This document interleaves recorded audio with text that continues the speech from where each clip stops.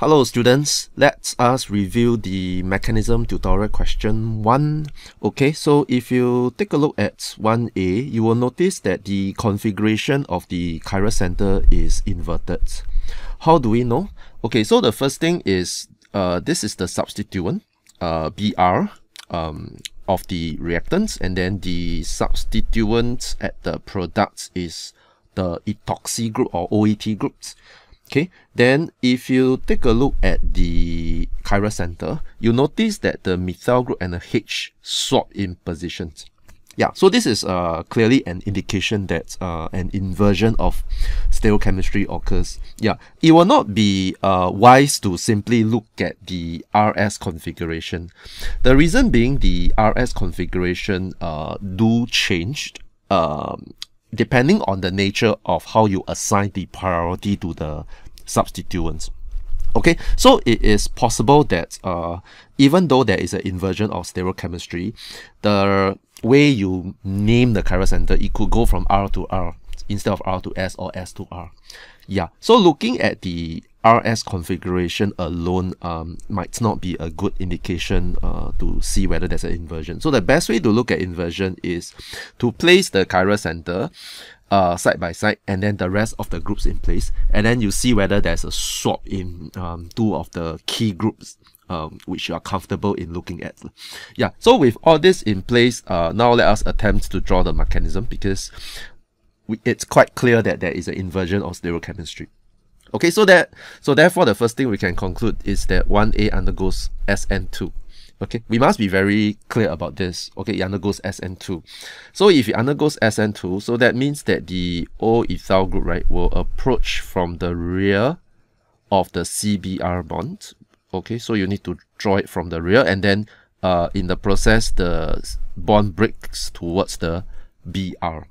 Okay, so if you want to draw in the transition states, um, it should be drawn clearly. So in this case, the transition state should be drawn like this. Okay, so uh, you can just follow whatever you are given. You do not need to um, rotate anything or change anything. Okay, so remember to put in a dotted line, dot, dot, dot, BR, and then um, dots, dots, dots, dot, dot, um, OET. Okay, so something like this, I think it's okay. Of course, if you are very strict about it, then um, obviously you might want to rotate the uh, ester group away from the incoming nucleophile, but I think it is fine for now because the emphasis of this question uh, is not so much on uh, the the drawing of the mechanism alone, but uh, the drawing of mechanism coupled with an explanation um, why do you get certain product. I think that, is the main focus of the question. Yeah. Then um, after that, you you would notice that um, after drawing the mechanism, your product would look like this. Okay, so you have an ester group, and then um, so because there's an inversion, so the methyl group will be pointing downwards and then the H will be projecting away from you and then um, of course the OET group is here yeah you notice that uh, what I've drawn here in green right is a little bit different from uh, what was given to me here. Yeah but you can easily convert them because they are identical by simply doing a bond rotation okay um, that should be a bond rotation of 180 degrees lah. yeah then the group the methyl group that's pointing towards you will now be pointing away from you. The H that's pointing away from you will now be pointing uh, towards you. Yeah so this is purely an SN2 mechanism so I hope uh, it's clear from the explanation. Next we'll move on to 1B okay so for 1B right um, again what you have is uh, something similar Okay, so uh, in terms of the chiral center, it looks the same, except that there is a little change. The substituent now is now um, an OET group, an O group. Okay, then you notice that uh, in the course of the reaction, there's a retention of uh, the chiral center and then there's an inversion as well. Okay, so how can we make sense out of this? Yeah, and of course from here you get 50-50% mix. Uh, so therefore you should roughly have an idea that uh, the reaction simply undergoes an SN1 mechanism. Okay, so this should be an SN1. Yeah. So one of the uh, mistake that most of the students make when they drew this uh, mechanism is they simply just let the uh, CBr bond break And then um, they simply work with this particular carbocation, um, which uh, looks like this. Okay, so the H is projecting in, and then the methyl group is projecting out towards uh, you and then with a plus charge. Now do take note that this particular carbocation is not stable because it is bonded directly to a highly electronegative oxygen atom. Yeah, and um, at the same time the carbon has only six electrons around it.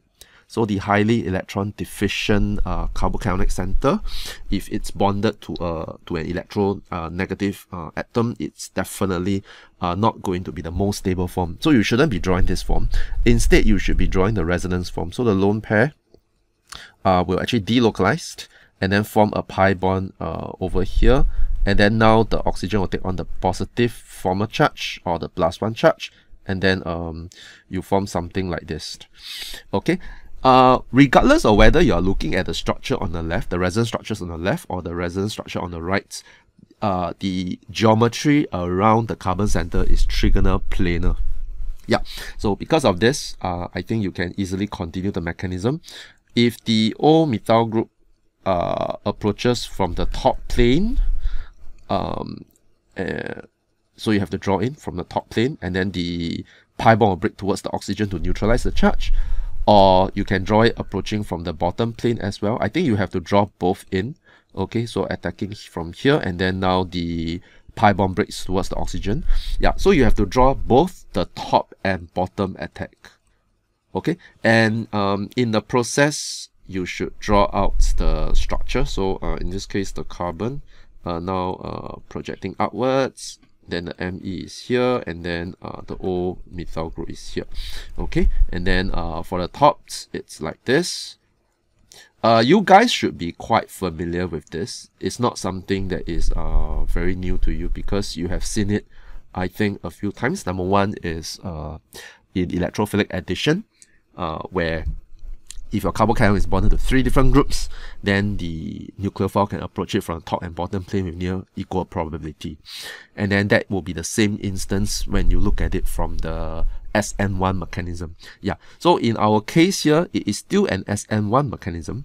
The only difference is that now the carbocation um, will take on a more stable form, which is this particular form.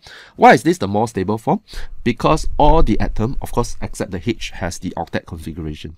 Yeah, so again, whenever stabilization is possible, it will prefer to be stabilized. Yeah, then um, so after a while, if you are more experienced, when you have when you are looking at a system like this, right, then you are probably going to draw the mechanism straight away by uh, pushing out the BR by forming the CO pi bond like this. Okay, so when you're more experienced, you can draw what I have drawn in red. Yeah, because you know that the presence uh, of a highly electronegative oxygen or even nitrogen, right, will allow uh, the pi bond to be formed between carbon and oxygen and in the process uh, kick out a good leaving group. Yeah, so the good leaving group in this case is uh, bromides. Yeah. Then um, if we move on to part C, okay, um, it's a bit interesting here for part C. Yeah, so you'll notice that um, if you if you, if you just take a look at the substituent, right? So it's Br here, and then um, I have a OH minus nucleophile. Yeah, so now the OH minus nucleophile is uh, being substituted in place of Br. So from here, it seems to imply that it seems to imply, uh, I'm not saying that this is the correct mechanism, okay? So it seems to imply that uh, the OH minus group seems to come from the front, okay? And then you kick out like that. But you know that this is impossible because based on the mechanism you have learned, regardless of whether is it SN 2 or SN1. Yeah, you know that mechanism are orbital controlled. La. So for SN2, we stress to you that it must be a rear attack. And then in this case, it can't be SN1 because if it's SN1, it will not be 100% of one um, stereoisomer. Yeah, so you know that if you have drawn something like this, that is incorrect. Yeah, so if it's incorrect, then you need to uh, probably modify your mechanism a little bit yeah not to draw the one I have just drawn okay then um, you also notice that I have a unique group here which is a thio okay so if you if you if you go check up um, on your thiol, right, you notice that the thiol group is pretty acidic. Okay, so uh, in this case, if I have a OH minus, the first thing that could probably happen to my thiol group, right, is that it will be deprotonated. Okay, so I'm going to just draw it in first. Yeah, so the OH minus uh, will probably deprotonate my thiol first, okay, to give me the thiolates. Okay, so the thiolate will now have a negative charge, uh, which allows what we call an internal nucleophilic substitution to take place. Okay, which looks like this. And then in the process, it will produce a three-membered ring, which is highly strained. Then the highly strained three-membered ring, right, will of course encourage a nucleophilic attack uh, by the OH minus, by the hydroxide nucleophile, from the rear of the, of the CS bond like this. Okay, and then it will break towards the S. Yeah, so whenever you show a uh, mechanism, right, it will be good if you can show it um, as close to the actual mechanism as possible. So in this case, the rear attack uh, from behind the CS bond. Okay, and then in the process, uh, what I'm going to get is a ring opening uh, processed. So the ring will open. Okay, and then uh, I'm going to get an OH here. Okay, and then of course the uh, the sulfur okay will be over here with a negative charged yeah then um because of the deprotonation earlier on yeah so uh, there's this uh, deprotonation right? Yeah so the lone pairs on the sulfur can now grab a protonic hydrogen from water and then regenerate the OH minus. And then um, I'm going to get the products. Yeah something like this yeah. Uh, some of the students might ask uh, what if I am not aware that thiol is more acidic than an alcohol and it can be deprotonated by hydroxide. So what can I do? Yeah, so that is not a problem at all. Uh, if you didn't know of this particular fact, uh, you can simply just perform an internal SN2. So let me just show you very briefly. So it is perfectly fine if you just uh, attack directly like this. Yeah, and then after that, uh, the OH minus will then grab the uh, H bonded to the sulfur yeah, because uh, if it undergoes the reaction like this, right, so it is uh, likely that uh, my sulfur will have a plus one formal charge uh, due to the hydrogen. So it will be like the conjugate base, sorry, conjugate acid. Yeah, so this H can be easily deprotonated. Okay, so uh, you don't have to, you don't really need to worry. Uh, again, as I often mention, uh, your job is not to draw the most uh, correct mechanism.